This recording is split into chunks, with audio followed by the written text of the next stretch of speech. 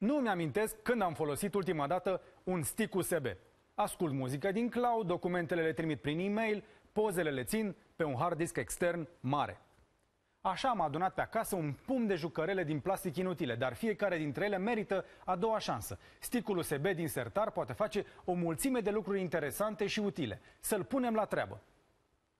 Cel mai simplu lucru, îl învățăm să ne paroleze calculatorul cu ajutorul unui soft deștept numit Predator. Instalăm aplicația, introducem stickul, îl setăm, iar PC-ul nu va mai lăsa pe nimeni să se apropie de fișiere și aplicații dacă nu are stickul sau parola. Dacă încearcă să forțeze intrarea, Predator va folosi camera, îi face o poză intrusului și ne-o trimite prin e-mail. Nu poate fi păcălit cu CD-uri sau oprirea forțată din Task Manager, ba chiar ne lasă să verificăm activitatea de pe calculator de la distanță. Același stick USB este în stare să ne transporte aplicațiile și jocurile preferate oriunde am fi. Să zicem că lucrați seara pe un PC și la serviciu pe altul. Cu ajutorul Portable Apps puteți muta pe stick browserul preferat, fie că e vorba de Chrome sau Firefox, cu tot cu paginile favorite.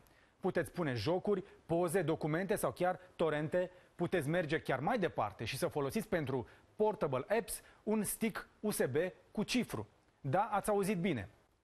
Are butoane și un LED care te anunță dacă ai introdus parola corectă. Toate informațiile, toate fișierele, inclusiv filmele sau pozele, sunt criptate.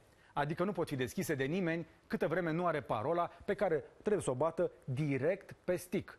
Poate sună ușor paranoic, dar mii de stickuri se pierd zilnic. Vă mai amintiți exact ce documente aveați pe ultimul stick pierdut? Tot un banal stick de numai 2 GB poate fi folosit și pentru a vă salva calculatorul de virus.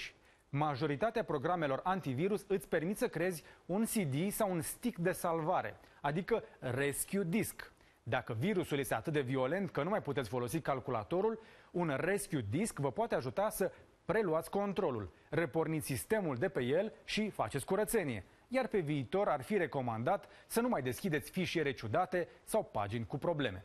În fine, pentru cei mai pricepuți, tot un stick poate rula un sistem de operare complet, fie că vorbim despre Windows ori Ubuntu, pe un stick de 16 sau 32 de giga încape și sistemul de operare, dar și destule fișiere, cât să nu mai aveți nevoie să cărați după voi un laptop. Pur și simplu băgați stickul într-un alt calculator și vă simțiți ca acasă.